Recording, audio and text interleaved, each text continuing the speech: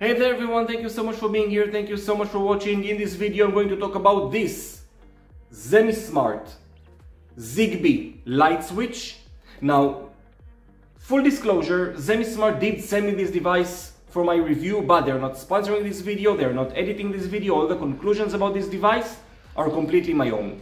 The reason I decided to do this video, even though we are just talking about a smart switch like almost any other light switch out there, it's the same concept, is because I think that Zemismart actually has done something very clever with this device. Now let me show you, let me unbox it real quick.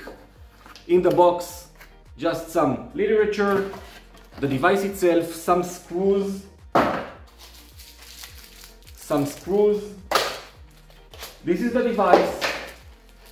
And as you can see, it has six physical buttons. In the back, it only has four terminals. The other two buttons are actually virtual or just scene buttons that you can control other things than lights.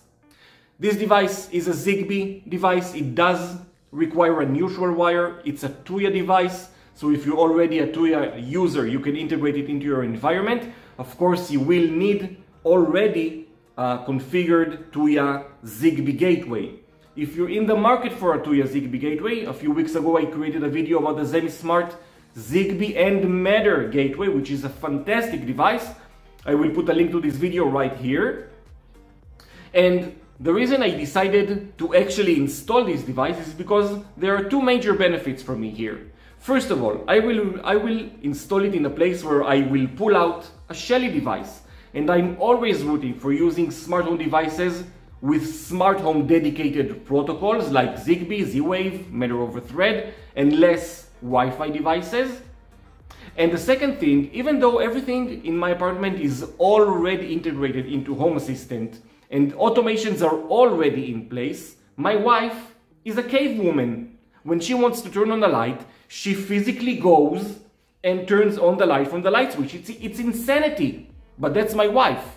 And this device, since I will install it close to my front door, I will raise my spouse approval factor substantially. And Paul Hibbert, if you're watching this, Nisha might find this device actually useful and not mess around with your light switches. So what I'm going to do is I'm going to allow or enable my wife when she walks into the house to turn on from one place close to the door the kitchen lights the living room lights, the air conditioner if she wants to, pull down the blinds if she wants to, and I will save her a trip to between light switches. This is why I think it will be very useful, at least for me. So let's go over to where I'm going to actually install this device and I'm going to do like sort of a time lapse and when it's configured, I'll show you how to install this device or configure it. By the way, you can use it, use the Tuya in a platform. And if you're like me, I'm using Home Assistant.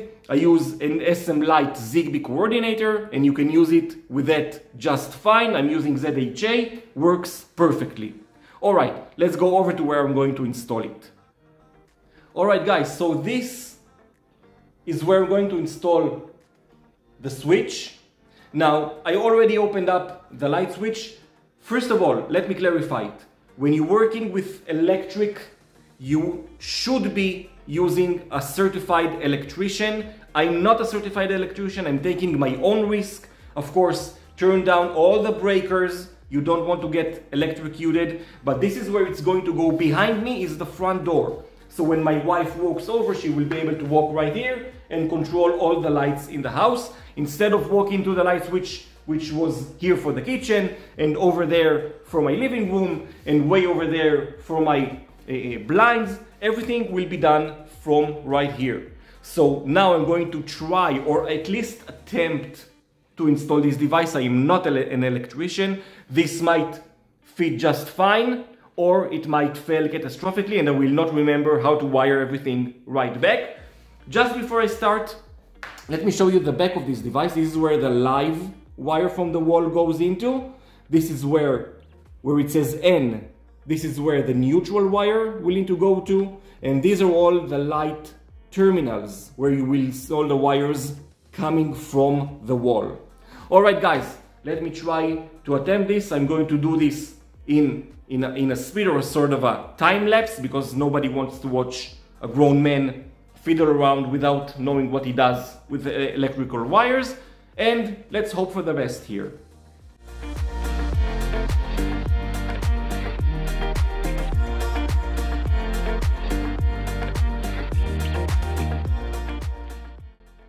One eternity later.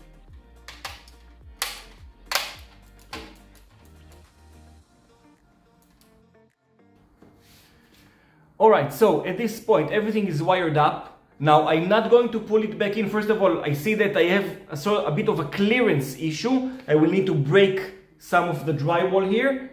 And the second thing that I want, I, I don't want to place it in uh, still yet because I do want to bring the power up again and without even attaching it not to Tuya, not to Assistant, not everything, I just want to see that physically the lights work. So that's what I'm going to do right now. Alright, so I do see the blue lights, the blue light indicators. I'm not sure you will be able to see it, but let's see if my lights at least turn on. Alright, first light came on right there. Let's see the other one. It's up on the ceiling. All right, that one turned on as well. So this means that at least electrically, I got everything hooked up correctly. At least we have that. So what I'm going to do now is I'm going to try to manage everything in, in place. I'm going to try to install it. And the next thing I'm going, to, I'm going to do is I'm going to show you how to attach it to a Zigbee gateway with Tuya and then how to, how to do the same but with Home Assistant. Alright, let's go. Hey everyone, sorry I had to cut the recording completely because I did run into clearance issues where the back side of the device wouldn't fit in my electrical box and I had to do, I tried to do some chiseling and make some more space. I still have some clearance issues and, and I thought this is not going to be the case. I thought it was going to fit perfectly right in. That's what she said. So what I am going to do I'm going to write the measurements of the back side of the device so you, you will be able to determine exactly if it's going to fit inside your electric box or are you going to have to do some fitting. But this is generally what it looks like. It's very clean, very aesthetic. This is the look I was hoping for. The wiring couldn't be any easier and the diagram Zemismart provides in the box is very accurate. It just the live wire goes into the bottom terminal, the neutral goes to the left one and the wires from the light fixtures to the side terminals and it works perfectly. What I am going to do now is I'm going to jump to my mobile device and I'm going to show you how to uh, pair this device to a Tuya based Zigbee gateway and then I'm going to remove it, go to my Home Assistant and show you how to pair the device to a Home Assistant based coordinator. I'm using ZHA and there is a caveat I want to show you, but I will get to it when I get to it. Join me. Alright guys, so we are at the mobile phone and I'm going to go into the Tuya mobile app. By the way, when you first install the device and connect it to power, it will already be in pairing mode. But if for some reason you can't find it just like that, just press any one of the devices for 10 to 15 seconds and it will go back into pairing mode. So let's go into the Tuya app. I already have my Zemismart Hub already configured, so let's go into that. And now sub device, device management, quick add, and the device should show right up in a few seconds.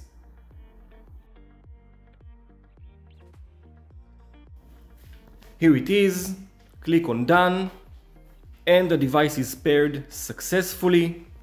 Here are the four light switches or light buttons that are the, that's the physical buttons. And if we swipe to the right, we'll see two more scene buttons. So it doesn't get any easier than that. I'm not going to elaborate more on Tuya just because I'm not a Tuya user and I don't think Tuya, uh, the Tuya platform is good enough. So what I am going to do is I'm going to click on edit. and remove the device because I do want to now pair it with my home assistant. So I'm going to close out of Tuya and now let's jump to my home assistant. I'm going to go into settings, devices, ZHA, here's my coordinator, it's an SMLIGHT device which I recommend very much. Let's click on add devices via this device and let's wait the device to be paired. It's already starting.